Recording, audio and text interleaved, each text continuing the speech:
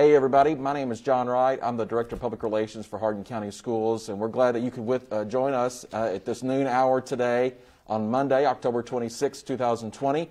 And uh, we are at HCEC TV Studios. I'm hanging out with Carlina Sharon. She's our Director of uh, Early Childhood Instruction. And so we, Carlina and I, are we're more than six feet apart. So we're going to remove our mask uh, because we are we fall into that social distancing guideline. So uh, we're going to do that. And we wanted to do this, uh, Carlina, just to make sure that everyone knows that uh, our preschool department is not only exists, but our preschool department is best in Kentucky. Uh, we're biased, but we believe it's the best in the state. We do. We have absolutely, I think, the best group of teachers and the best group of instructional assistants, and um, feel very fortunate that we have a board of education that truly understands that if we want to make a difference, a lifelong difference in the success of children, then we start when they're young because the primary time that a child learns and their brain is the most active and most ready for learning is birth to five years old. Mm-hmm. So that's where we should, you know, as a state, really be investing our money and our efforts to offer universal preschool for all four year olds so we can get all four year olds to be uh, ready and as successful as possible to start kindergarten. But Carlina, you've, you've talked about, I've heard you many times talk about, um, you know, preschool starts at three and 4 mm-hmm. uh, that's when we have students in preschool. But really, learning starts in the womb. Oh, uh, so, mm-hmm. so talk about how how critical those those not only before birth years are, and then even just right after birth. How important sure. those years are? Uh, they're so important. You know, if there's one thing I would say to all new families, new parents, is read to your children.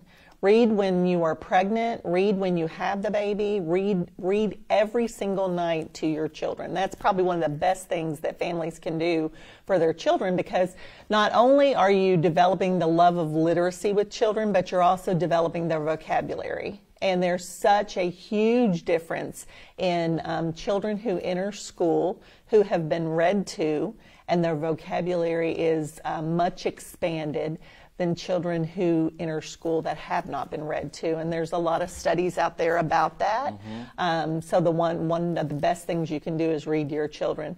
And if you only have a couple books at home, read those books over and over because you know children love to hear the same book over and over. They love to hear it the book to the point that they can retell you the story because then they even jump into um, thinking they're reading on their own, which is a pre-literacy skill, which is you know, awesome for children.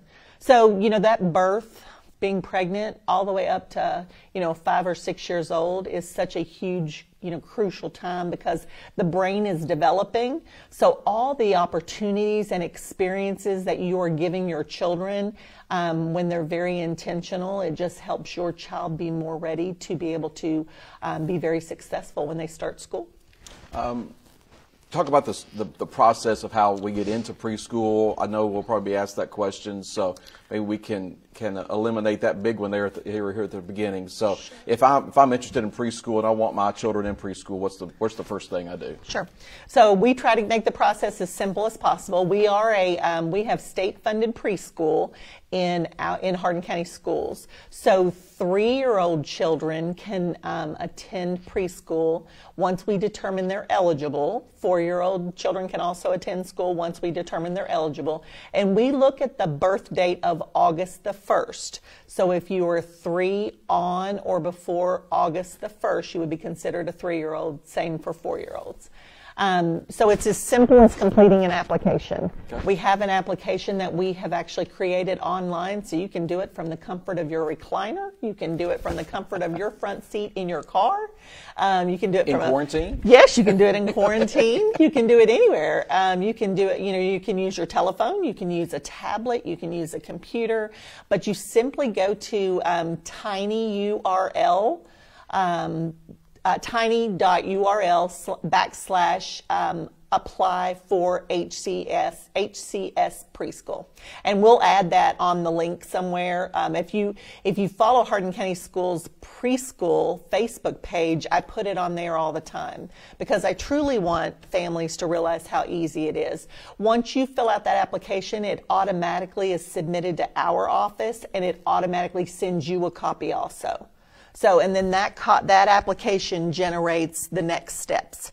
So once we get the application, um, our office will start looking to see if if you are a four, have a four-year-old child, do you qualify by income? That is one area that four-year-old children can qualify under and is income, and that's the first thing we look at.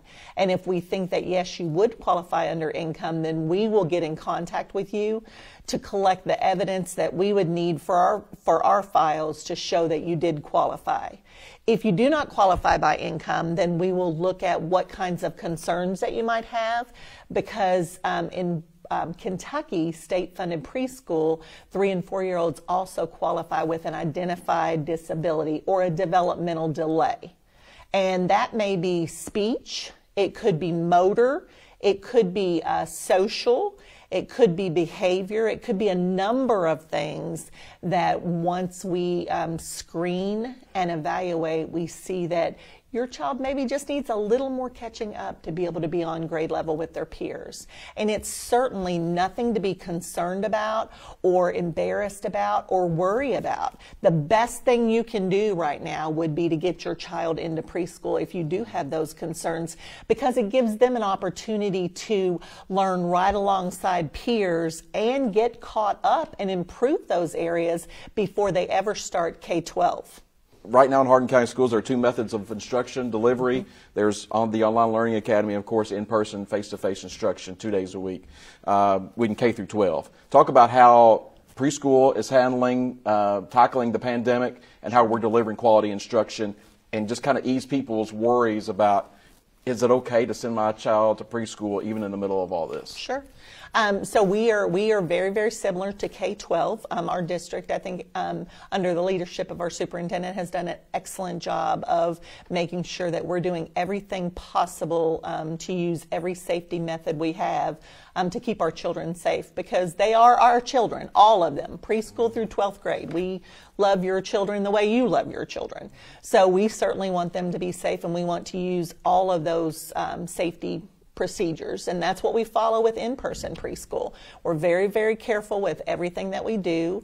Um, we, we, in the state of Kentucky, we do not have to wear masks in preschool.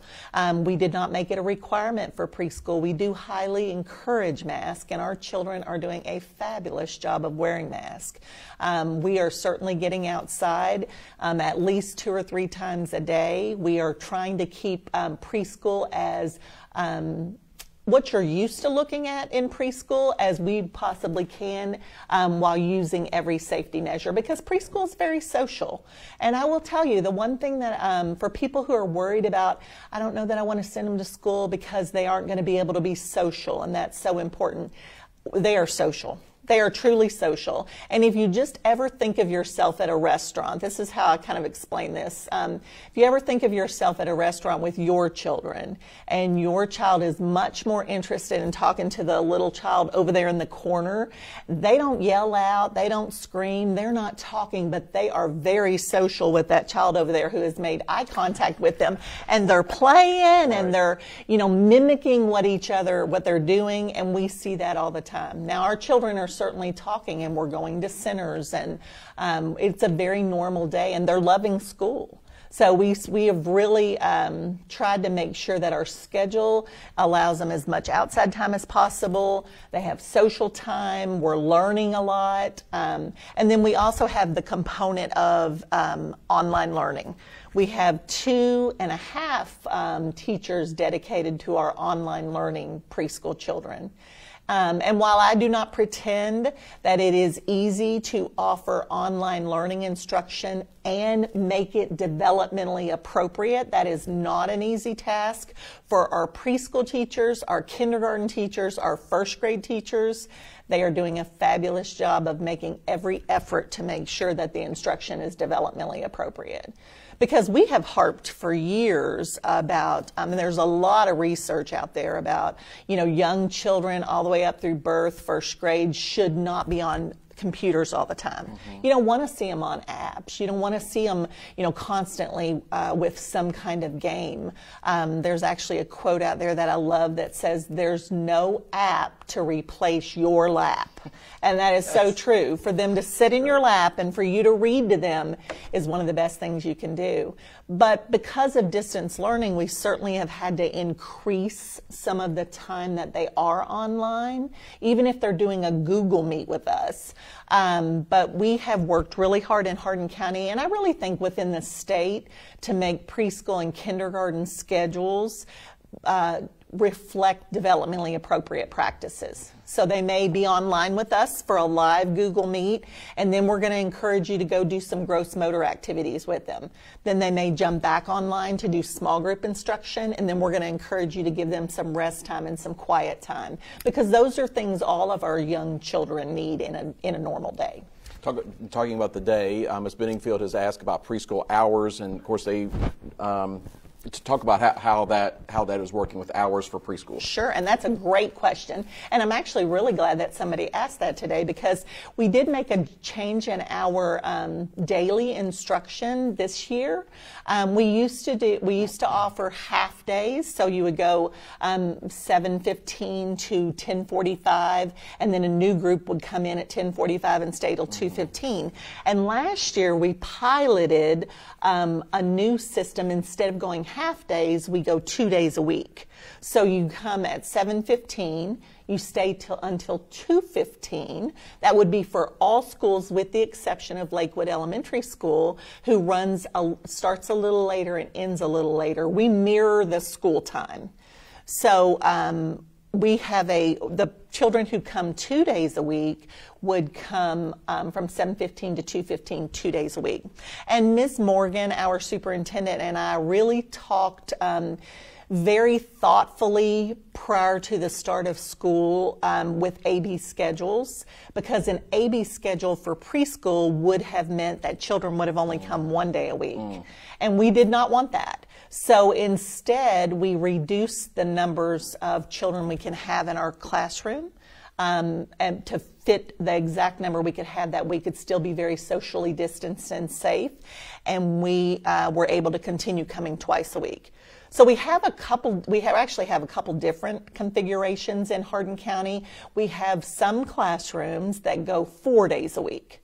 And then we have some classrooms that they would go two days a week. And this year it would be Monday and Thursday, or your child might be on a Tuesday, Friday schedule. We do not go to school on Wednesdays. And the reason for that is um, in K 12, when you, when, as a, from the adult side, you have um, a planning period, time that you can um, do lesson planning and call families and get things prepared. Um, for preschool, we do not have a planning period during the day. So the uh, one day that we do not have children come to school, that is our planning period. That is the day that we would do home visits, which this year are virtual. They're more of a Facebook um, or a Google Meet setting, but typically they are, we go out into their home and, mm-hmm. and meet with them. Um, that's the time we do parent teacher conferences. That's the time we do lesson planning for the week. Uh, we do uh, monitoring of our um, IEPs. We do a lot of work during that time. Um, I laugh because anybody that doesn't know a lot about preschool in the school setting sometimes will say, now on that day off, and I always say, that's not a day off. Follow one of our preschool teachers right. around because it's not a day off. Right. Um, they are taking care of so many things. And typically, in a normal year, that's also the day that we would offer family training. Mm-hmm. We have um, a variety of activities we have uh, during family training. Here we are on the October 26th. Mm-hmm. Oh my gosh, uh, a fourth of the school year is gone but it's still not too late to get into oh. preschool. It's never too late to never. get into preschool. Mm-hmm. No, it is never too late. I, we we enroll children um, that are eligible in May, wow. and we don't get it. And we get out of school typically around the middle mm. of May. It's never too late to start preschool. We have children start preschool at all times. Um, there's actually a birth to three year old program called First Steps, um, and it would be a, pro, uh, a program that, you know, if you have a, a birth to three year old child that you have uh, some slight concerns about, I would certainly encourage you to get in touch with the um, uh, First Steps program because they're a wonderful program, but they transition to preschool. There's actually a, a law out there that says that um, if you're in the First Steps program and you're getting ready to exit that program as a three year old, then your local school district has to determine if that child qualifies for preschool. And there should be no um, break in service. So if you know, Mr. Wright was our three year old and his birthday is in October, then our school system needs to determine by, by his birthday that he is eligible to go to preschool or he is not eligible. So on his birthday, he can start school. So since birthdays are all over the page, mm-hmm. you know, you can see that we have lots of children that will transition to preschool at different times, all different times during the year. Um, even if you do not have concerns about your children, I, will, I highly encourage you to apply for preschool. And I tell all families that because I don't think there's a lot of opportunities as a, a child, a three and four year old child, for you to go somewhere and be able to have your child screened and then to sit with an adult who is somewhat of an expert in that age developmentally developmental area um, to share information. Mm-hmm. So you know, even if you apply for preschool and you know our team of experts tells you that we don't see anything that would indicate that um, there's even a slight concern about um, the way that they are developing or you know on track to being successful um, we're still going to give you information so, you know, we've had a, a, number of parents that have applied for preschool, and with the conversation we've had at the end, um, they didn't necessarily qualify for preschool, but they got some information that was really important um, for them to continue working with their children the way that they have. And that Brigance test is a, is a test that we uh, perform, and we have to perform mm-hmm. uh, per state law, but we perform that on every kindergartner just to see where they are. Mm-hmm. And, and as you said, those those preschoolers that go into to kindergarten, they, they do they, they do very well mm-hmm, on that. Brigance mm-hmm. test. Mm-hmm. They do, and I look closely at that. Um, we actually have been a um, and the Brigance um, it's called Brigance Kindergarten Screener. Every kindergartner, um, and you have to be five on or before August the 1st to be able to attend kindergarten. You do not have to attend kindergarten when you are five. You have to start school by the time you're six, but you don't have to start school when you're five. But a lot of families choose to start their children when they're five, and every kindergartner is given that Brigance screener. Um, and then the state issues um, the data uh, for statewide on how children uh, did on that screener. And, um, you know, like with every assessment, there are certainly some things on the assessment that I, I, I don't know that um, I think at the beginning of kindergarten it would be what we would necessarily want to see. However, they are kindergarten standards.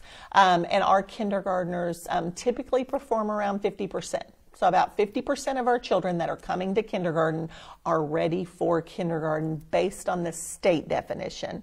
Now that does not mean that your child would not will not be successful in kindergarten. If you do have a uh, child who's taken that screener and they um, did not uh, screen ready, you will be amazed at what they learn by the end of the year with their kindergarten teacher and their instructional assistant because they work, you know, magic mm-hmm. in those classrooms with children.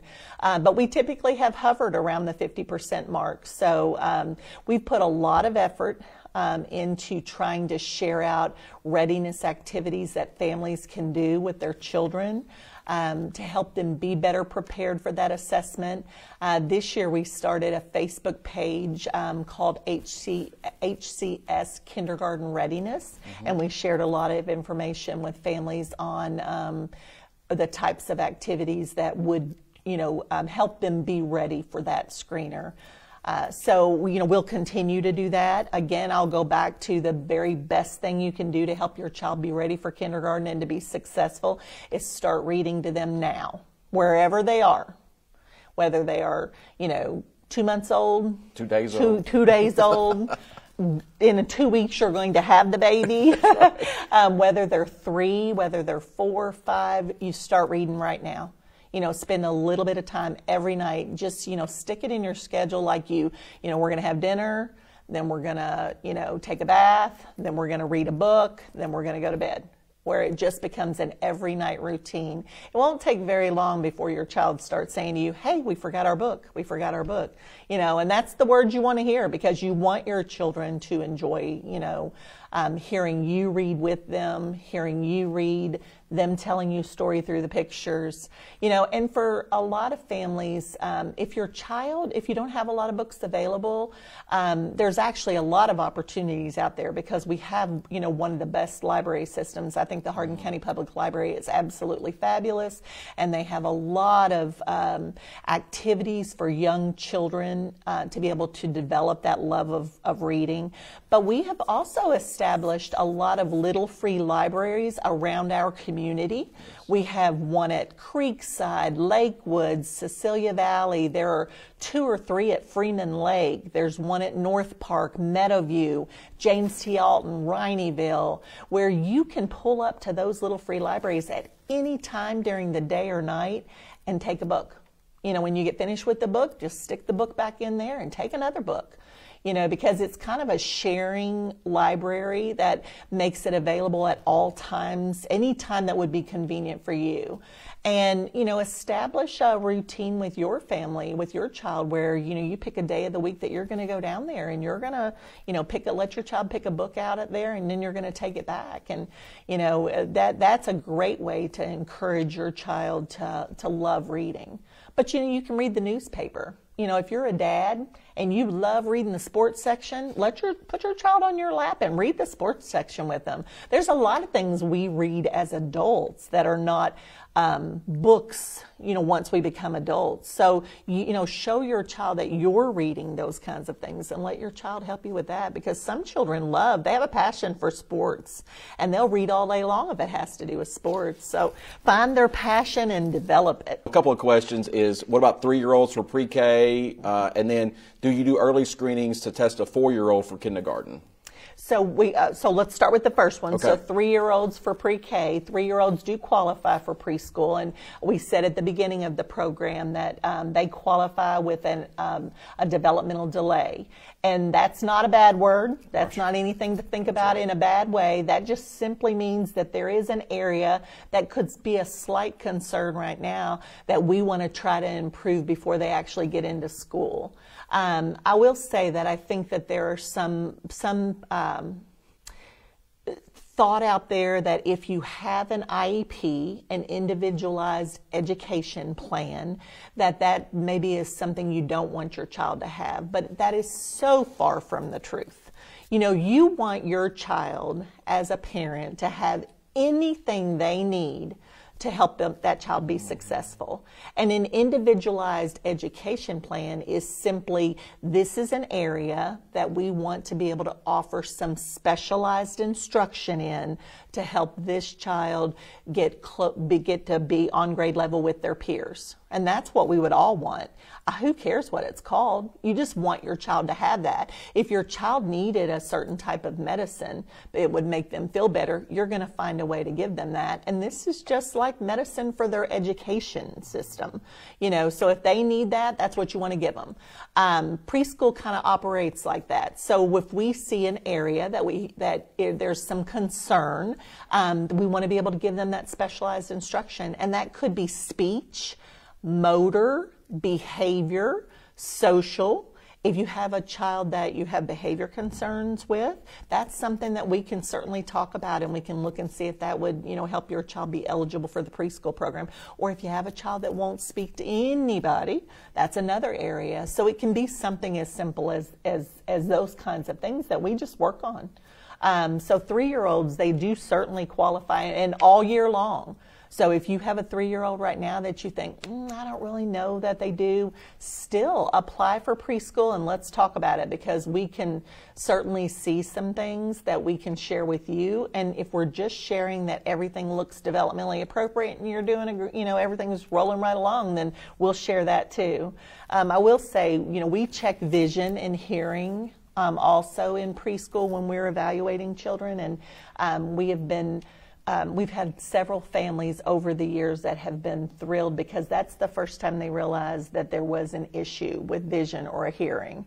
Um, and then they've gone on to be able to. So there's a lot of whole picture of the child that we look at that will give you information. So three year olds certainly. What about if my child, if I think my child is ready for kindergarten at four years old? Yes. What do they? So if your child does not meet the age requirement from the state, and that is to be five years old on or before August the 1st, then our plan for early entry into kindergarten is your child would turn would turn 5 after August 1st but before October the 1st. You can ask the school district to test your child early entry, and we'll test them to see if they would qualify for um, starting kindergarten without meeting the age requirement.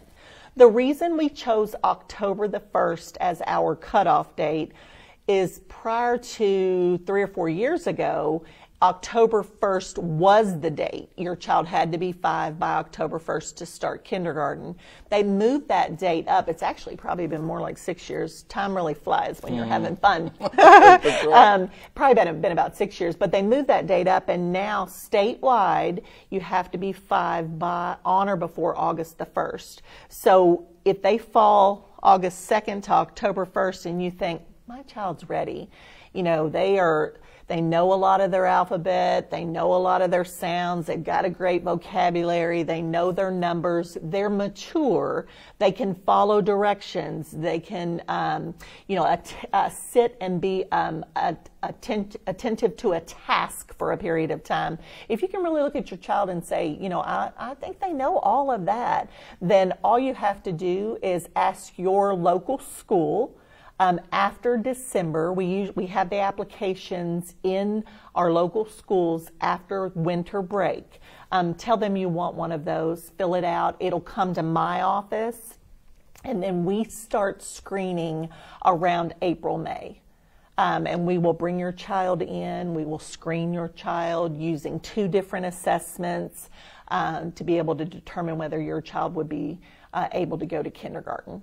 And there is uh, on our on the HCS website under the Parents tab. That's at the very top. There is a, a uh, several materials on there called Kindergarten Readiness Information, and that was a kind of a uh, collaboration that our school district and the Elizabethtown Independent Schools uh, came with a couple come up with a couple of years ago. Because look, kids are kids, and we really don't care where they go to school. We just want them to get their educational um, you know, we want them to get their educational foundation, and so we collaborated with them, and, and that information is on our website. I believe it's on the Elizabethtown uh, Independent Schools website as well. So just check that out as well. Carlina, thank you. Um, it's obviously you, you, know what you're doing, Carlina, and I, am saying this because as a friend of Carlina's, not just as a co-worker, but she she is she's the best, and uh, our preschool department is the best because of her passion and because of her drive and uh, but like Carlina said, our superintendent, our board of education, our teachers, our staff really feels as passionate as she does about um,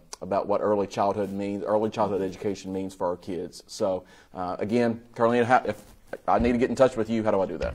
Uh, you can call our office. Our office telephone number is 270-769-8911. You will speak to Jill Monday. She is fabulous at helping families and she'll be glad to, you know, answer your questions, get your question to me if she can't answer it. We're all there to answer questions. I mean, if there is one thing that I would say I would encourage you to do is if you have a 3 or 4-year-old child, apply for preschool if you have a three or four year old nephew, cousin, next door neighbor, tell them about preschool.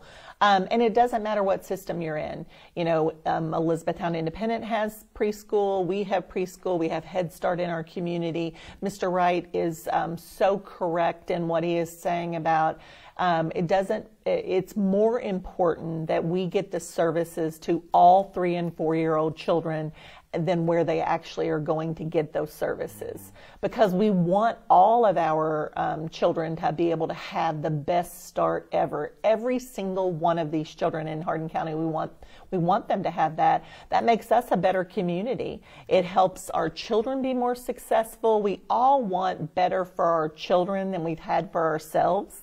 And I think the way that we do that is to be able to offer them every opportunity to learn and grow and be successful. So when they come out of school, they know exactly what they want, whatever road they take, they find success on that road. Again, thank you, and uh, we'll see you on down the road. Thank you for watching today.